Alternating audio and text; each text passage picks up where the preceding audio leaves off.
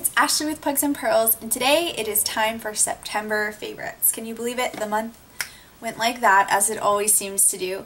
And I thought I would go ahead and talk about two things that I actually talked about last time. And I feel like I didn't want to like include them again, but then I was like, you know what? No, if they're that awesome, you need to know about them. So again, I have been exclusively using this CoverGirl foundation. This is the 3-in-1 Outlast Stay Fabulous, and I am in the color 820.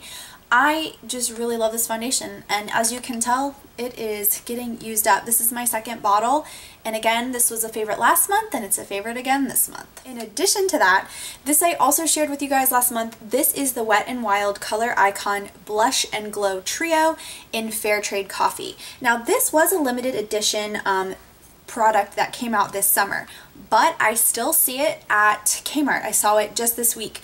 So I just think that this is a really nice product. Not only is the pigment great, um, the colors are nice, and it really is just a good product because it's three in one. I feel like when I'm in a rush in the morning, it's really easy for me to just use this, put it on, and move along. And so I've really used this a lot this month just because I've been in a rush most days. Okay, on to some new favorites. Um, one is this Becca Cosmetics um, Skin Illuminating Perfector in the color, what is this one? Rose Gold. And I showed you guys last month I was loving Opal and this month I am loving Rose Gold. I got this for $21 and this is a full size of this product and it is just a gorgeous rose gold and it's to me it just is a nice blush topper it's not as like bright, of course, as like Opal and Moonstone are going to be, but it's just a really, really gorgeous rose gold color and I love it as a topper on my blush and I've been using this one pretty much exclusively for September. Next up we have some lippies and I have four different ones to share with you. Um, the ones that I have been really excited about are by Makeup Revolution and this first one is a Salvation Velvet Lacquer. This is a um, matte lipstick and this is in the shade Keep Lying For You. And this is just a beautiful kind of purple pink liquid matte and I really like this. The staying power is not going to last you all day, but it definitely is um, going to last you a couple of hours. What happens to me is it starts breaking down when I start eating or drinking a lot. Like it lasts through my coffee, but it won't last through probably eating. So you'll have to reapply. But honestly, for the price, these are so cheap and I love this color. It is so pretty. Um, that pinky purple is just, I've been into purples a lot. But if you guys don't like liquid lipsticks, this next one from Makeup Revolution will be good for you. It's a very, very similar pink purple color. This is in the shade Not One for Playing Games. And again, this one is just a, um, a regular kind of like lip cream. It's not going to dry matte. It's going to be just, um, just kind of a glossy finish. And it's actually not, to me, as pigmented. I feel like I kind of have to build this up a little bit, to be honest. And it's slightly more pinker, but it's a cream. And again, it does not dry matte, but again, it's a very pretty color, and I've liked this one as well, too. Now the next two lipsticks are a combo. I'm actually wearing them today. And this one is a Maybelline Brazen Berry. And this looks so purple in the tube, but it's actually, I feel like, not that bad. Like when you put it on, it doesn't seem, it is very purpley, but it's it's actually something wearable, like to work wearable. It's not like out there um, too far out. But what I've been doing is I've been putting this on as a base and then I've been using this as a topper. And this is the Maybelline New York um, Luxe, for, Luxe in Lilac Color Elixir. And I've been taking this and oh my gosh, it's so glossy. I love this little applicator and I've been put, putting it over um, putting it over the other one and I just I don't know, it's been such a pretty um, high gloss shine and it just looks, again, it's that pink purple I've been going for all month long. I just, I love this combination. Again, I'm wearing it today. I just think it's awesome.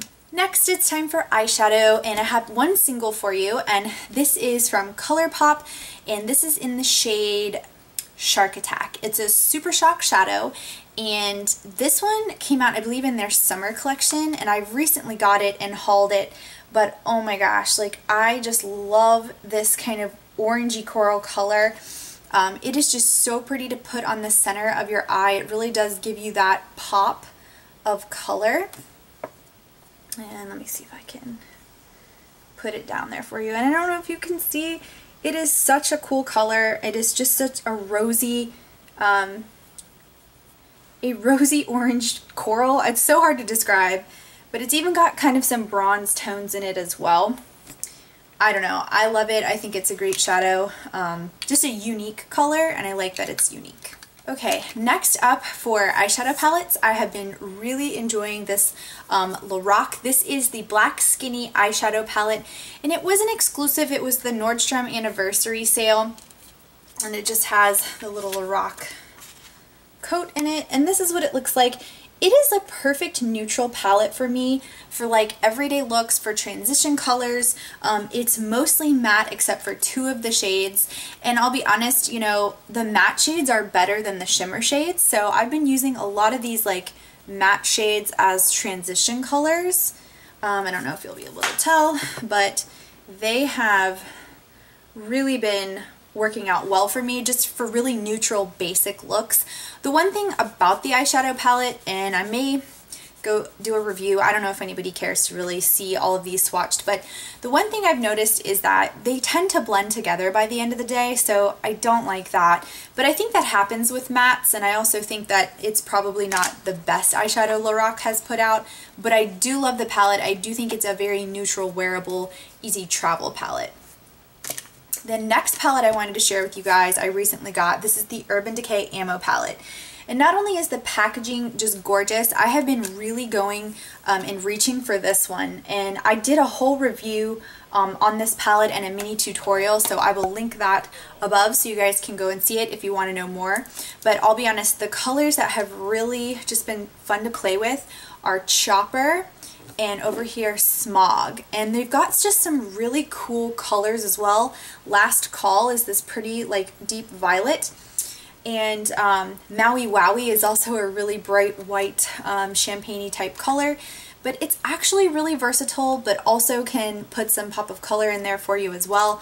Uh, I really like it, and I've been using this mainly the last part of the month a lot. So you guys, that is it for my September favorites. I hope you enjoyed. I'm so looking forward to October. And let me know if you are doing a September favorites. I'd love to see it. Please let me know in the comments down below. I'd love to check it out. Thank you guys so much for watching and I will see you in my next video. Bye!